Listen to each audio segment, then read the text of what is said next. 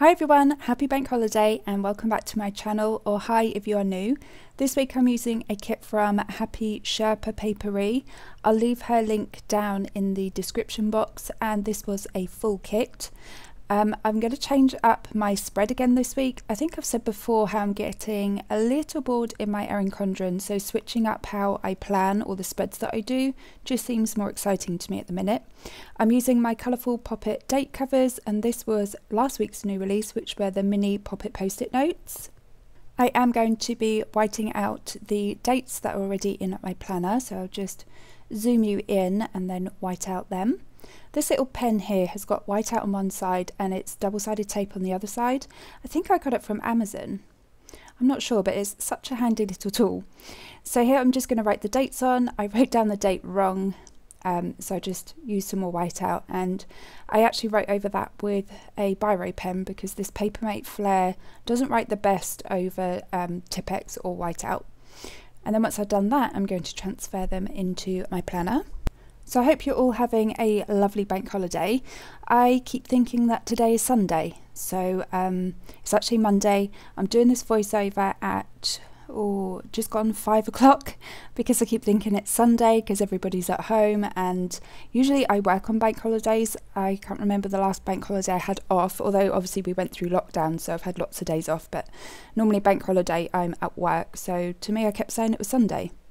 In fact, while we were in lockdown last year, every time somebody asked me what day it was, I would say, oh, it's Wednesday, even though I had no idea what day it was. It was just always Wednesday. So, um, yeah, luckily I remembered it is actually Monday and my video is due to go up in just under an hour. So I thought I'd sit down and do the voiceover now. I have been using a lot of headers lately, which um, I don't normally do because in the Erin Condren Life Planner the boxes are a little bit wider so the stickers don't go from edge to edge which kind of irritates me which is why I haven't been using them. And then I think oh do you know what? I'll, I'll use it because it's a full kit and I want it to look all matching and pretty. And then halfway through I kind of think god I wish I hadn't done this because it doesn't fit my box. Um, so the washi down at the bottom I decided to cut in half and I'm just going to do a little bit of sticker matching up or sticker surgery as I call it um, so then I can have it go all the way across to the end of my boxes. Obviously I can't do that with the bow washi because I didn't want to split that in half so I just used the extra cut off bit that I used on the left and then the little gap that's left I decided to use the weekend banner. Again I don't often use them and I'm trying to get back into using them so this was a perfect little situation. So this week I'm going to be putting check boxes all the way along the top and then I'll put my full boxes all the way through the middle. I have done the full boxes through the middle before. I do like the way that um, it looks. I don't always do it because I don't I like to be free in my planner and have lots of room to write everything and then put a full box down if I need to fill up some time or I don't have a lot of plans happening. Um, so this week I decided to go a bit more functional. So at the top here I can write everything down that I want to do on that day or write lists in the morning on each day. I'm a big list maker. Normally I just scribble it down on a random piece of paper on the back of a, an envelope that's come through the door. I'll write it on anything as long as I've written a list in the morning with my cup of tea. I think I'm ready to take on the day. So I thought I would try it in my planner this week. It's nice to try a different spread and if I really don't like it, I turn the page in seven days and I don't have to look at it again. Well, until I do a flip through of my planner. Um, so yeah, that's why I like to switch up sometimes. So after putting some of the coloured washi down as some headers, because I didn't really want to use the little things, I then put down my full boxes all the way through the middle. I will say doing my spread this way probably half the time it normally takes me to do a spread. It was so quick and simple, I didn't really have to do a lot of thinking. I just stuck stickers down and then just left the bottoms, which is what we'll be moving on to. I'm just going to put down my to-do headers. Um, the one thing that I didn't like and the reason that I probably won't do my spread like this next week is that I only have the bottom to list sort of three things which also means I don't have a lot of room for my poppets either, which is a sad day. Um, but I did manage to fit some in there. So now we can go in day by day, or the tiny bit of day by day. So first off, I'm using one of my new mini Poppet post-it notes just to mark down that I've actually got the date off and that will be going out somewhere as a family. Well we did, we went out to, I think it was called Whit Whitlingham Park? Whitlingham, I can't say it, but that's where we went. We've just got back. And then for Tuesday, it's my mum's birthday, so I've put down one of the birthday part two poppets. I've also got a food shop delivery coming on Tuesday, so I've put one of my food poppets down. And then lastly, I want to go and post some orders, so I've put my post and deliver poppet down. And then hopping over to Wednesday, so on Wednesday, my boys have to do a COVID test, so I've put one of the Poppet Get Tested stickers down. I also want to film, so I've put that on a swatch uh, Poppet. And then my son has also got an exam, so I've put one of the mini Poppet post it notes. That's really hard to say quick. And then hopping over to Thursday, I've got some normal housework things to do, like laundry, normal housework, and then it is my green beans. Green beans? Did I say green beans? I meant green green bins. Oh my goodness, green bins. There we go.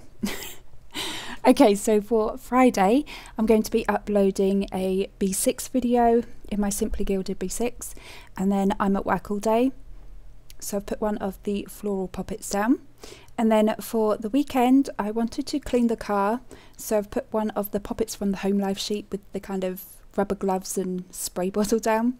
Then I've put one of the coffee poppets laying down because that will be me. And then I want to film next week's plan with me. And then hopping over to Sunday, we obviously do a COVID test on Sunday, so I've put that down on a get tested sticker. I've also popped a poppet bag sticker down as we want to get everything ready for school on Monday.